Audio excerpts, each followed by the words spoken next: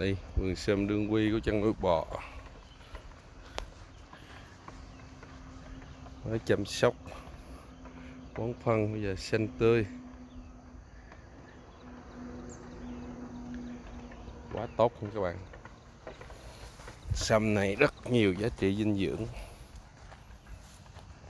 Đặc biệt dùng cho chị em phụ nữ rất tốt. Có thể nấu với giò heo, chân gà ngâm trà túi lọc ngâm rượu.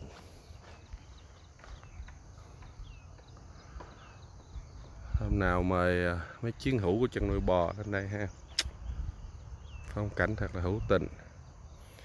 Ngay trạm thu phí,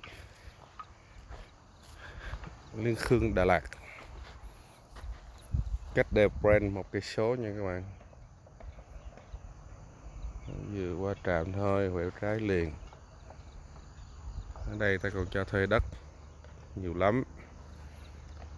Ai có nhu cầu cứ lên đây, mát mẻ, bình yên.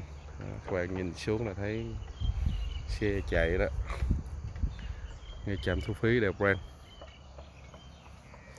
đây là xem đương quy